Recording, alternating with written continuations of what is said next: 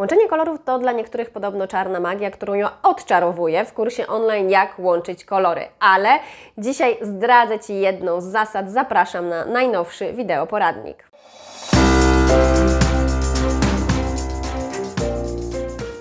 Zasad łączenia kolorów i zależności w łączeniu e, kolorów jest dosyć sporo, a dzisiaj chciałabym pokazać Ci, opowiedzieć o jednej z zasad. Oczywiście więcej, a właściwie wszystkie, które uważam za istotne, e, opisałam w kursie online, jak łączyć kolory.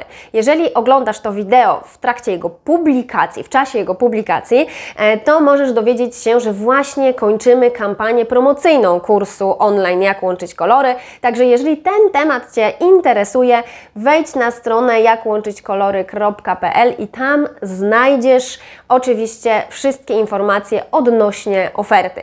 Dzisiaj e, jedna zasada. Jedna zasada, żeby nikogo nie przytłoczyć. Ta zasada to łączenie kolorów harmonijnych według zasady harmonii barw. E, co to oznacza? E, potrzebuję cofnąć się troszeczkę do teorii koloru, którą może już znasz oglądając mój kanał na YouTube regularnie, a może wcale nie, może dla Ciebie będzie to zupełna nowość. Po pierwsze, koło kolorów. Koło kolorów czyli coś, e, co pomaga nam jakby zobaczyć, na czym polega ta zasada harmonii barw. E, harmonia barw to nic innego jak zestawianie ze sobą kolorów i oczywiście no, nie tylko na e, jakby w naszych ubraniach, nie tylko w stylizacji, ale w ogóle, czyli w grafice, w wystroju wnętrz, w architekturze, gdziekolwiek, ta zasada mówi o tym, że łączymy kolory, które leżą na siebie, leżą obok siebie, nie na siebie, nie na sobie, ale obok siebie na kole kolorów. I teraz co to oznacza? Oznacza to oczywiście mm, nie tylko e, barwy takie czyste, bo jeżeli, i tutaj przytoczę trochę tej teorii e, koloru, spojrzymy sobie na e, koło kolorów, zobaczymy, że ono tak naprawdę składa się z mieszanki wynikającej z połączenia ze sobą kolorów podstawowych i gdy już połączymy ze sobą kolory podstawowe, otrzymujemy kolory pochodne i gdy połączymy znowu pochodny z podstawowym, dostajemy 12 barw czystych. I oczywiście nie chodzi o to, że w przypadku kolorów harmonijnych musisz koniecznie w stylizacji połączyć e, ze sobą na przykład e, żółty z pomarańczowym, czy e, zielony z niebieskim, czy niebieski z fioletowym. Chodzi raczej o to, że gdybyśmy rozbili to koło kolorów nie tylko na takie 12 12 barw czystych, ale na takie tonalne przejścia, które pojawiają się w, w, w, między tymi kolorami, czyli te przejścia nie byłyby takie, takie intensywne, takie stanowcze, takie dramatyczne, czyli że mamy osobne kolory, ale raczej takie delikatne przechodzenie między sobą, to zobaczymy właśnie, że te kolory, które, które mają podobne składowe, leżące obok siebie, gdy połączymy je ze sobą, e, te zestawienia wyglądają bardzo harmonijnie. Czyli jeżeli popatrzymy sobie na dół koła kolorów i weźmiemy pod uwagę na przykład błękity. Błękity, czyli jakieś pochodne błękitu cyjanowego.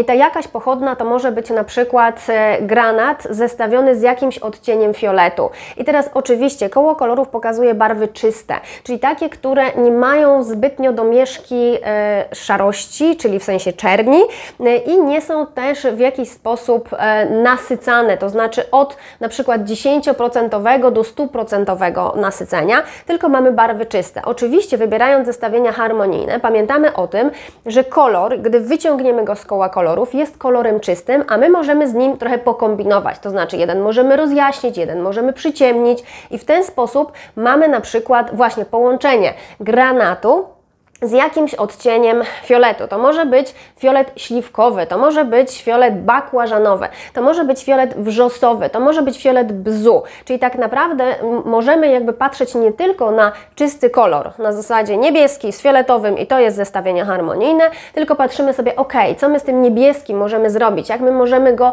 natężyć, jak my możemy go nasycić, jak my możemy obniżyć tak, to jego natężenie albo podwyższyć jego e, natężenie i podobnie jest właśnie z, e, z tą chromatycznością, czyli możemy go trochę wypłowić, możemy go trochę jakby tak wysycić, żeby on właśnie był ten czysty, albo wcale nie. I oczywiście tutaj od razu chciałabym już przejść e, do tego, żeby powiedzieć, że w zależności od tego, jaki masz e, typ urody, to oczywiście możesz skorzystać z wiedzy, z analizy kolorystycznej e, i będziesz wiedziała, że na przykład, jeżeli jesteś typem zgaszonym, czyli na przykład zgaszonym latem czy zgaszoną jesienią, to Twoim połączeniem harmonijnym będą połączenia kolorów, które leżą koło siebie na kole kolorów, ale też mają odpowiednio zgaszoną chromatyczność.